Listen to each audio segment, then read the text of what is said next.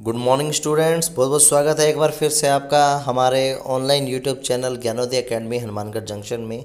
और आज की लेटेस्ट अपडेट जो है पत्रिका की, वो मैं आपको बता देता हूँ सभी को कि दसवीं और बारहवीं के दो से दो का मतलब कौन कब सा, कौन सा दो? दो का मतलब यहाँ नवंबर है, प्यारे विद्यार्थियों। दो नवंबर से खोले जा सकते हैं स्कूल। आज की ताज़ा अपडेट है कि दो नवंबर से आपके स्कूलों को खोला जा सकता है। देखिए, आज की न्यूज़पेपर की अगर अपडेट अगर बात करें, प्रदेश में दसवीं व बारहवीं कक्षा के लिए, सिर्फ़ दसवीं और बारहवीं कक्षा के लिए दो नवंबर से स्कूल खोले जा सकते हैं। पिछले तीन दिन से मुख्यमंत्री स्तर पर चल रही चर्चा के बीच स्कूल अनलॉक संबंधी भी स्कूलों को अनलॉक किया जाए तो अनलॉक संबंधी आदेश रवि का रविवार को भी इंतज़ार होता रहा। रविवार को उनकी बैठक चल रही थी और उस पर चर्चा की जा रही थी। और क्यों हो रही थी ये चर्चा? की भी देखिए, इस बैठक के अंदर मुख्यमंत्री, शिक्षा मंत्री, विभिन्न मंत्री तथा कुछ अभिभावकों को भी शामिल किया गया था। इसलिए कि भी स्कूल कब से खोला जाए और सहमति बन रही, कब से बन रही है कि दो नवंबर से स्कूलों को खोला जाए। तो देखिए क्या कहा जा रहा है कि दरअसल स्कूल अनलॉक संबंध में सीएम स्तर पर निर्णय होना है। अब देखिए सीएम अगर जो हमारे चीफ मिनिस्टर हैं, वो इस पर निर्णय लेंगे तो शिक्षा विभाग के सीएमओ को दसवीं, बारहवीं के लिए स्कूल दो नवंबर से खोलने और इन बच्चों को नियमित, कक्षाओं के बच्चों को नियमित स्कूल बुलाने का प्रस्ताव भेजा गया है। जो अभी लेटेस्ट प्रस्ताव भेजा गया, उसमें क्या बताया गया है कि जो सीएमओ होता है, उसने कहा है कि दसवीं में बारहवीं स्कूल के लिए उसको प्रस्ताव भेजा है कि दो नवंबर से स्कूलों को खोला जाए और इन कक्षाओं के बच्चों को नियमित स्कूल, कोई डाउट क्लास नहीं। नियमित स्कूल का मतलब जैसे आपका स्कूल लगता है वैसे सिलेबस पूरा करवाया जाएगा। बोर्ड की तैयारी करवाई जाएगी। डाउट क्लास नहीं है कि जिसको डाउट होगा वही आएगा। नियमित आप स्कूल जाएँगे। का प्रस्ताव भेजा गया है और जो आपके स्कूल हैं वो तीन चरणों में अनलॉक किए जा सकते हैं। कितने चरणों के अंदर?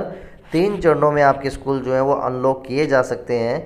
अगर पहले चरण की बात करें तो पहले चरण में दसवीं बारहवीं के बाद पहले चरण में तो दसवीं बारहवीं, क्योंकि बोर्ड क्लासेज हैं तो दसवीं बारहवीं ज़रूरी भी है। बोर्ड के पेपर होंगे, मार्च में बता रहे हैं कि मार्च में ही करवाएँगे। तो नवंबर से खुल जाते हैं तो दसवीं बारहवीं के विद्यार्थियों को नवंबर, दिसंबर, जनवरी, फरवरी, चार महीने मिलेंगे। और चार महीने में से आप ये मानिए कि नवंबर और दिसंबर दो महीने में तो सिलेबस ही होगा आपका।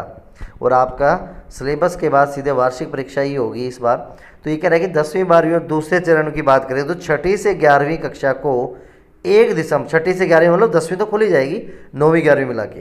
तो यानी कि छः से नौवीं और ग्यारहवीं कक्षा को एक दिसंबर से शुरू किया जा सकता है, क्योंकि ये नॉन बोर्ड है तो इतनी कोई दिक्कत नहीं है। और पहली से पाँचवीं कक्षा के लिए एक जनवरी से स्कूल खोले जा सकते हैं। लेकिन पहले से पाँचवीं थोड़ा मुश्किल है। छोटे बच्चे होते हैं इसलिए कोरोना के, कोविड नाइन्टीन के कारण।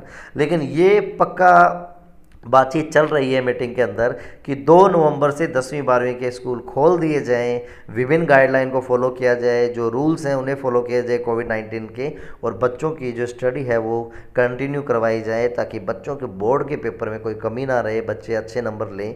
सिलेबस आपका रिड्यूस हो चुका है टेंथ का हिंदी का मैं वीडियो डाल चुका हूँ, क्या सिलेबस रिड्यूस हुआ है, आपके सामाजिक विज्ञान एसएसटी का वीडियो भी आज आपको मिल जाएगा। और देखिए, आगे क्या प्रस्ताव दिया है? आगे प्रस्ताव ये है कि छुट्टियों को घटाने का प्रस्ताव है, स्कूलों में शिक्षण अवधि पूरी करने के लिए, दिवाली। शीतकालीन व ग्रीष्मकालीन सहित अन्य छुट्टियाँ भी घटाई जा सकती है। आपकी दिवाली के पहले बारह बारह दिन की छुट्टियाँ होती थी, अब सिर्फ़ चार या पाँच दिन ही होगी मुश्किल से।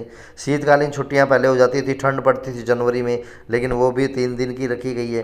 ग्रीष्मकालीन आगे जब हो जाएगी तो नेक्स्ट सेशन के लिए कोविड का पता नहीं कब तक चलेगा। तो इस कोविड नाइन्टीन के लिए नेक्स्ट सेशन में भी गर्मी की छुट्टियाँ भी आपकी घटाई जा सकती है। अब वो डेढ़ महीने आपकी जो समर वेके वेकेशन है वो नहीं होगी। तो ये अभी बातचीत चल रही है प्रस्ताव भेजा गया है सीएमओ को और इस प्रस्ताव पे क्या निर्णय आता है बाकी है लेकिन लगभग संभावना बन रही है कि 2 नवंबर से दसवीं और बारहवीं के स्कूल खोल दिए जाएँगे।